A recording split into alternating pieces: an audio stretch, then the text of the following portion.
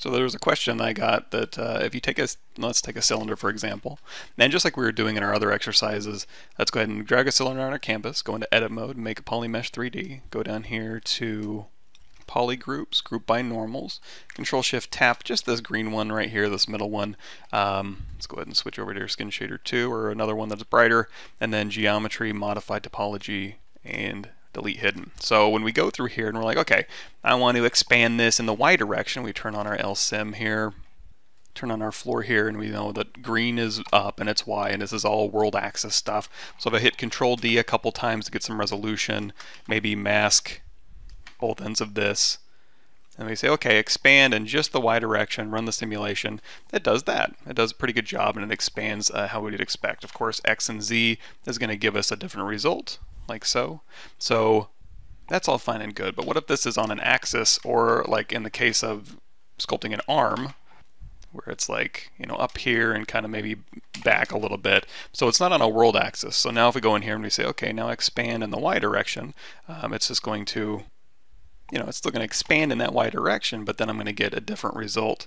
X and Z is going to be, you know, kind of all over the place. So what we can do is we can hit W, and our gizmo is already you know, when we create any primitive, it's already going to go down the axis of that primitive. Now, if this is an arm and you don't, it's not a primitive or anything, and Gizmo is just like, I don't know, sitting at, you know, world, if we hold down Alt, just go to the middle here, uh, just sitting at your world zero or something, and you want to move it to the middle of the object, which you can do, and we don't even have any end caps, which you might not if you're doing a shirt. So what we're going to do is hold down Alt and just drag along that shirt there, if we go into polyframe mode, you can actually see like, okay, we can actually drag, and as we're holding down Alt and dragging, it'll go through and just kind of snap to that direction. And then we can actually go in here to Unmatch Mesh Center if we want that little teardrop icon. And now we're right down the middle of this, and this axis is right down the middle.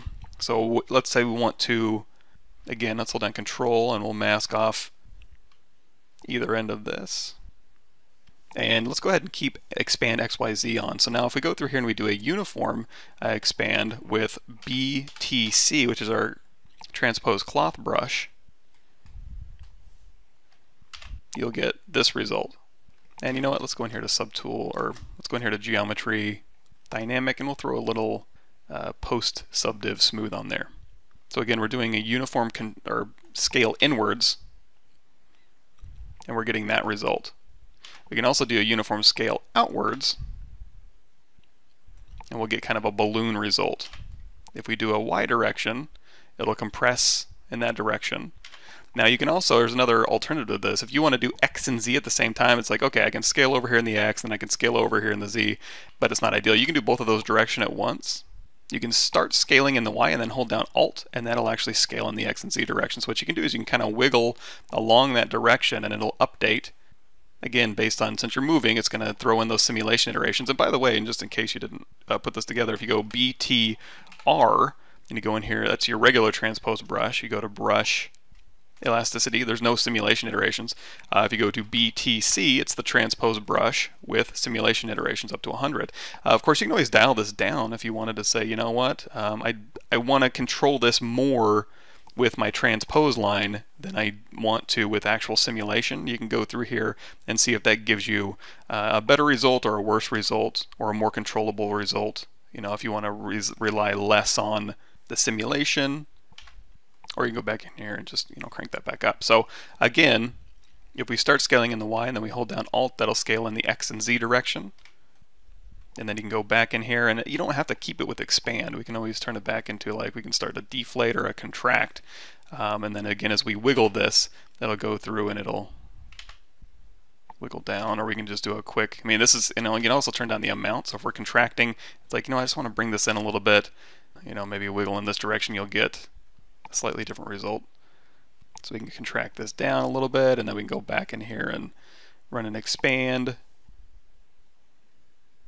and if I just scale in the y, that's going to be different than if I just kind of wiggle the y. It's going to give me an x and z, but you can also try and go through here and just limit it to a single axis. So if we expand it in the y, again, that's still the cardinal world y direction, uh, but it'll also give you a slightly different result. You can kind of see, you know, and actually going in here and like rotating actually seems to kind of give me those forms that kind of follow So we can try X.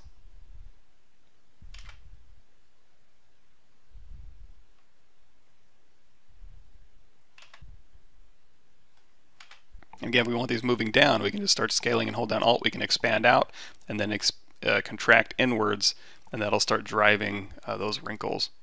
And then you can rotate this around and see if that'll get you something that you want.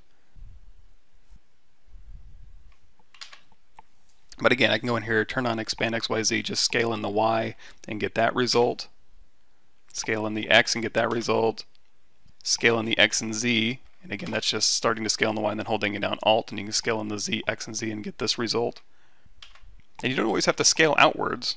You can start scaling in the X and Z by holding down Alt and then go in, and then you'll just, again, just start, start wiggling, and then you'll get those uh, compression results. Same thing with just scaling in the Y. Just kind of wiggle in, and you'll get those results. And then of course you can give it a little twist if you want. So maybe try uh, using brush transpose cloth for an off-axis result.